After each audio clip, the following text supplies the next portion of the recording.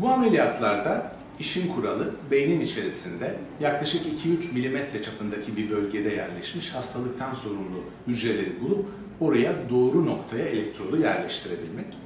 Başarının sırrı mikroelektrot kayıt ve stimülasyon tekniği dediğimiz teknikte. Ucu yaklaşık 2 mikron kalınlığındaki bir elektrodu beynin içerisinde milim milim ilerleterek o bölgenin haritasını birkaç yolculuk sonrasında tespit edip nereye elektrodu doğru koymamız gerektiğini buluyoruz.